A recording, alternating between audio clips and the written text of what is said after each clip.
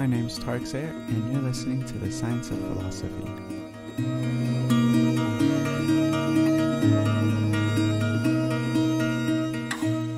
Today, Nietzsche, Part 1 God is Dead.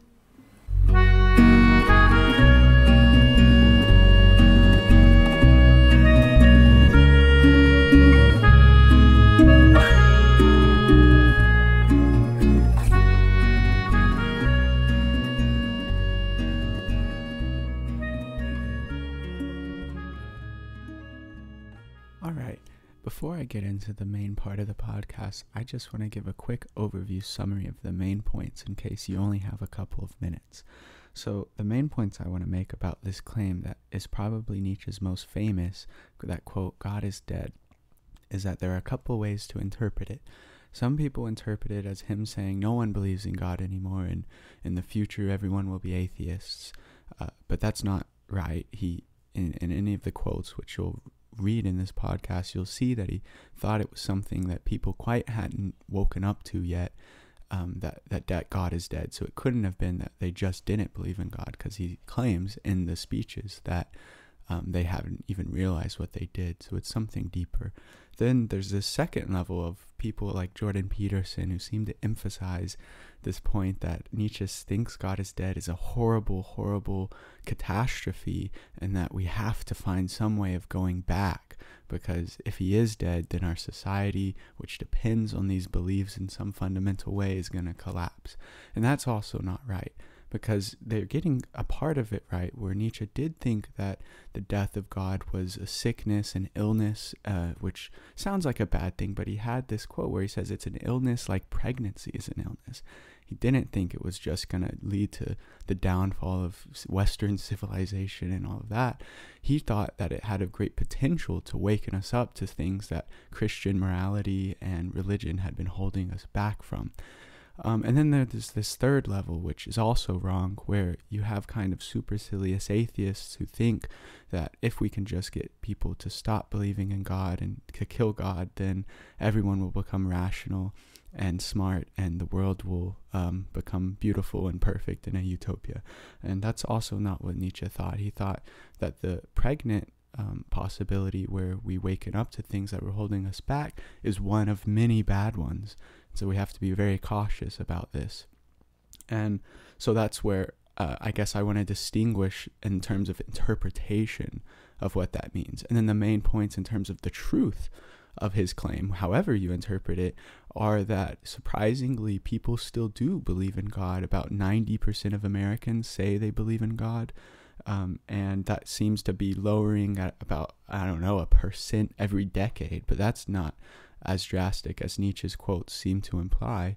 But on another, more important level, the practical belief in religion does seem to be declining drastically. So the amount of people who, when making an important life decision, rely on God or prayer or religious authorities is extremely low. Most people, in America at least, rely on their own research and reasoning, which some would say does exactly vindicate exactly what Nietzsche was saying.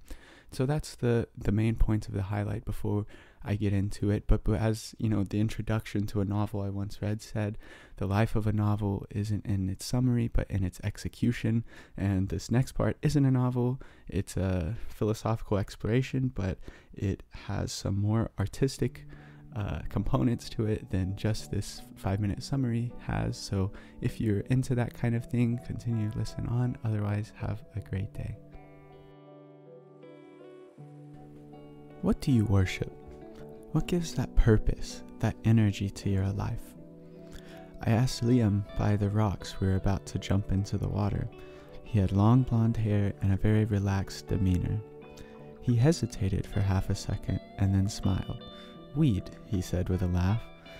Later, I asked his friend Austin, who was less certain. I said it could be anything weed, money, love, and when I said love, his eyes lit up. He described to me the new girl he was talking to and that rush of excitement he felt every morning waking up. As Austin described this all to me, he started to frown.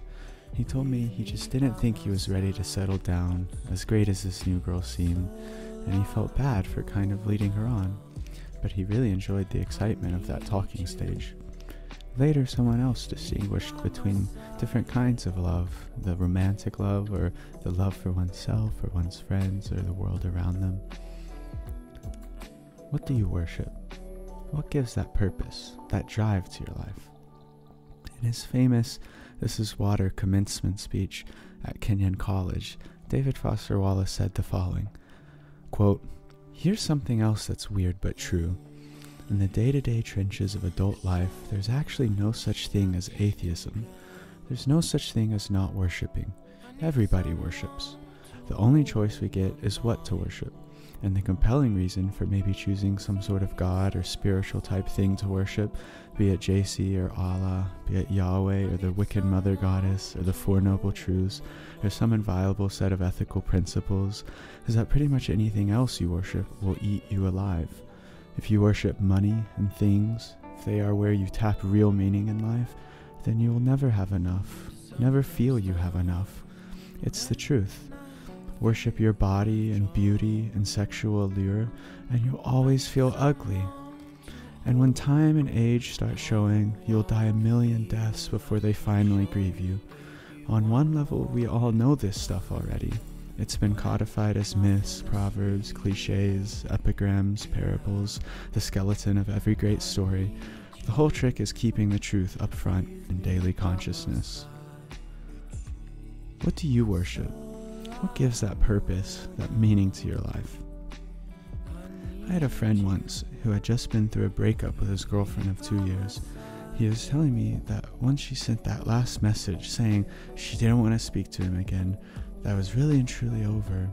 That internally he had this conviction that this really was the last time he would ever speak to her in a meaningful way as like a person important to her life.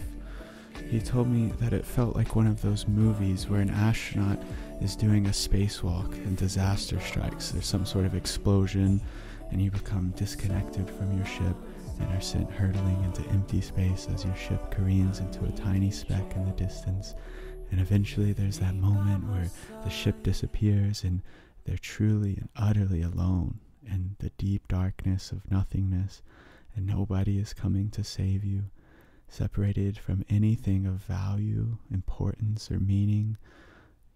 Just try to put yourself in his shoes. Imagine the terror you would feel as you looked around and lost all sense of direction, all sense of orientation, up or down would you not eventually get bored floating through that dark sea of nothingness? Would not eventually the banality of the boredom become itself banal? Would not non existence eventually seem desirable? If you can imagine the terror of this situation, you can get the tiniest speck of understanding for just how terrified Friedrich Nietzsche was at the end of the 19th century because for Nietzsche, this surrender into the emptiness of nihilism wasn't just happening to one of his friends, he saw it happening all around him. He envisioned entire societies falling into the emptiness my friend briefly experienced. And he seemed to connect it to this infamous phrase of his that God is dead. And I have to warn you, it's, it's not immediately obvious that the society we live in today isn't exactly the nightmare he worried about. There's this interesting fact in astronomy that the universe is expanding at an ever increasing rate, which means eventually the rate of expansion will surpass the speed of light, and all the light from the other galaxies and even nearby stars will no longer be able to reach us here on Earth. Future humans might read in ancient books about the seas of stars and galaxies their ancestors used to gaze up to, but they could be forgiven for being incredulous.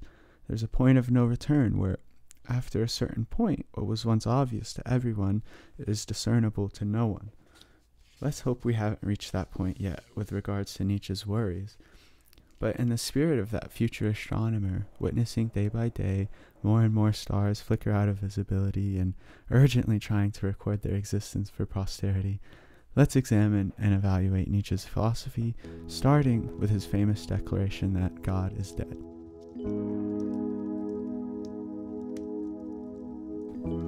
The Madman by Friedrich Nietzsche. The Madman. Have you not heard of that madman who lit a lantern in the bright morning hours, ran to the marketplace, and cried incessantly, I see God, I see God, As many of those who do not believe in God were standing around just then, he provoked much laughter. Why did he get lost? said one.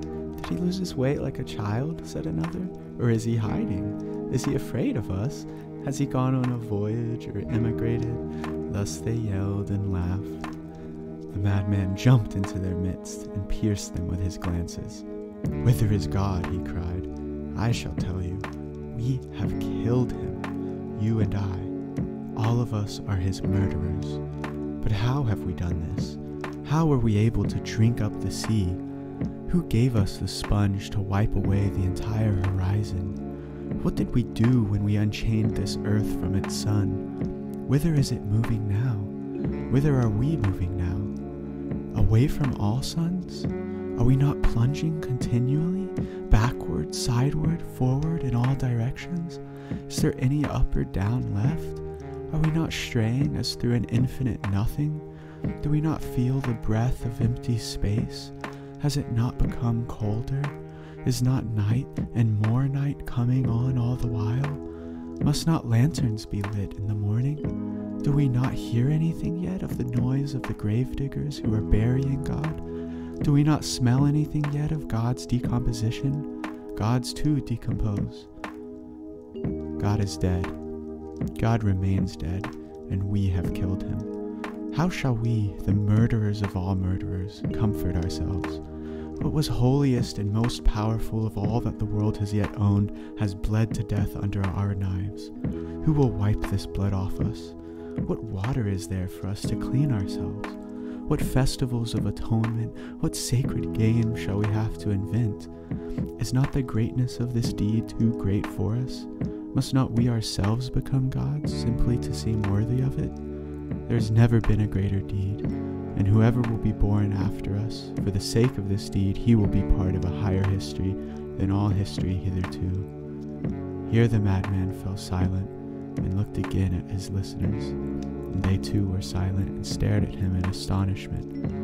At last he threw his lantern on the ground, and it broke and went out. I come too early, he said then. My time has not yet come. This tremendous event is still on its way, still wandering has not yet reached the ears of man. Lightning and thunder require time. The light of the stars requires time. Deeds require time even after they are done, before they can be seen and heard. This deed is still more distant from them than the most distant stars, and yet they have done it themselves.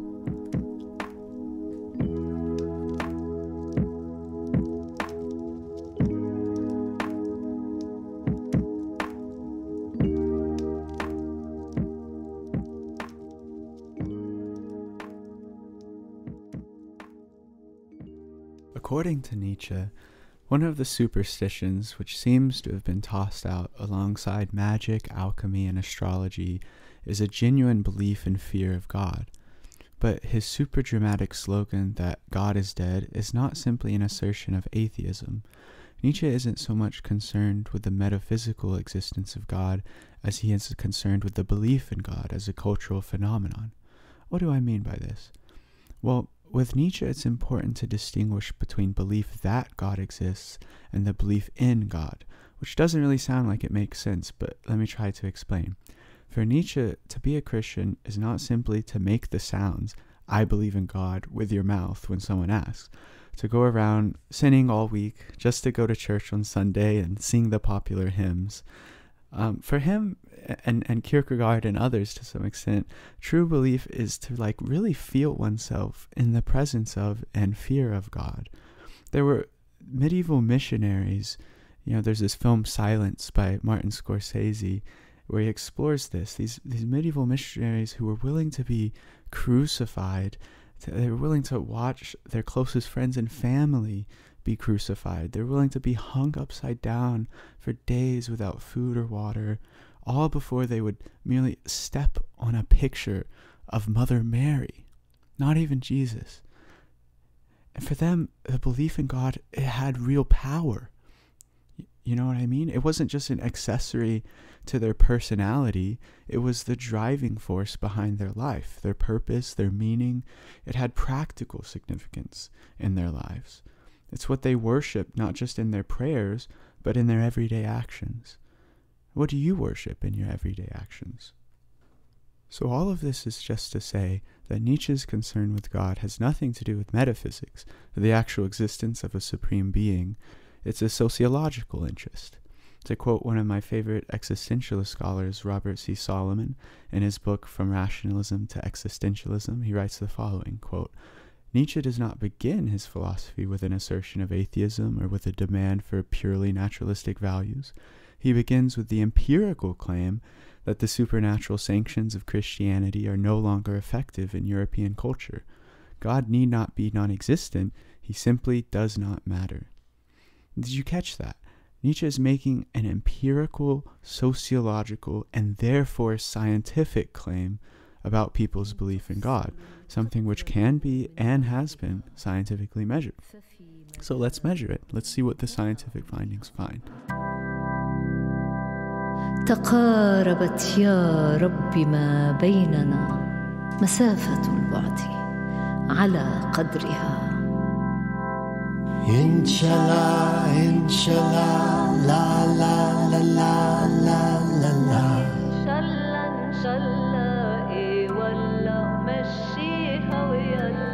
Inshallah, inshallah, la la la la la la la.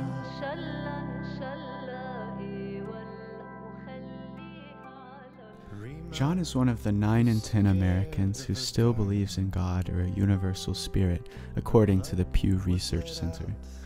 If you ask John why he believes in God, he'd appeal to the most obvious answer, which is this Look around you, dummy. The bird eats some seeds and somehow patches a perfectly smooth egg, which itself hatches a moving, feeling, hungry baby bird. I make some sounds with my throat, and you know what's going on in my head?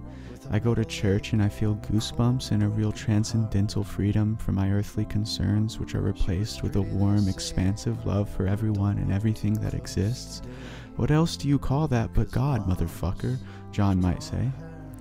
John's friend Avery is one of the 1 in 10 Americans who doesn't believe in God or a universal spirit, according to the Pew Research Center. Him and John get into this sometimes, and he always brings up what John likes to call evil evolution. Quote, in 1859, when Charles Darwin published The Origin of Species, Avery tells him, pretty much overnight the arguments for the existence of God you're expressing based on the complexity of life or religious experience evaporated, because from that point on, the chicken and the egg, the goosebumps on your arms, and the serotonin in your brain, it's all totally and persuasively explained by the natural machinations of a lifeless universe now. We don't need divine intervention anymore to explain it. But don't you see how it's not a lifeless universe because we're in it and we're part of it all, John? And if you need some universal authority to validate your experience of transcendental love, if you need something greater than yourself to tell you that it's valid to feel that way, well, you are the universe experiencing itself, John. You have that power. You're like a demigod in Greek mythology who doesn't know his father is Zeus. You can throw lightning bolts, and yet here you are waiting for a drop of rain. Unfortunately, John is also one of the 6 in 10 Americans, according to the Pew Research Center, who don't accept Darwinian evolution through natural selection, and so Avery's arguments are never really persuasive for him. But John has bigger fish to fry, anyways, because he, a married man, has been unable to resist making romantic advances toward his secretary at work, and the advances have been successful. He's meeting her at a hotel tonight, and although many thoughts race through his brain, never once does the thought occur to him that he should pray to God for advice. You see, he's one of the 8 in 10 Americans, according to the Pew Research Center, who said that they rely on their own research when making a major life decision, rather than prayer or pers- personal religious reflection. That's just who John is. He goes through the motions, he attends church every Sunday, he tries to bring Avery towards the light. If a Pew researcher were to ask him how important religion is to his life, he'd be one of the 8 in 10 Americans who say that it is important, but the fear of God never truly enters his body. In the course of day to day life, he'd step on a picture of Jesus in a second if it meant avoiding the slightest discomfort. He makes the sounds with his mouth that he loves her to his wife and heads to the hotel.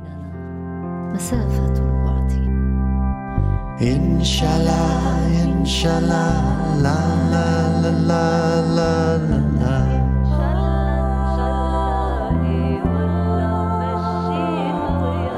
Inshallah.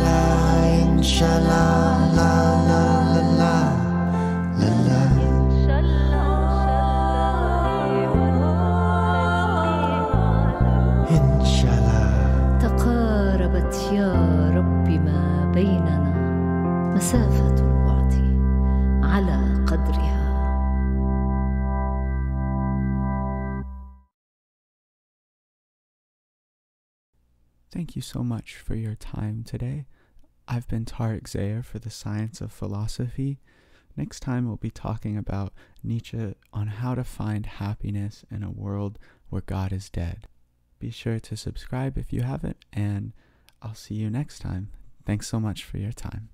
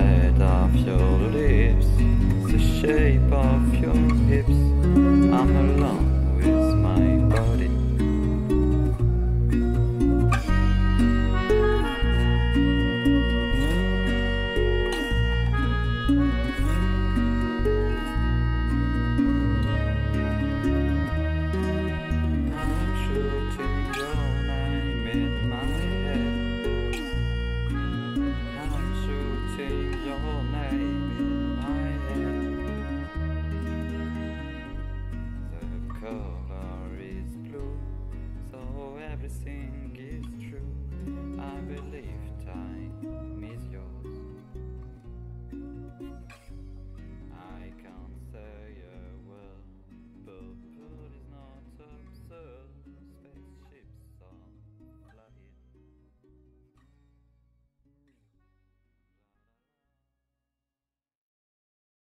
Uh, first, I want to ask you what is what is the point of philosophy?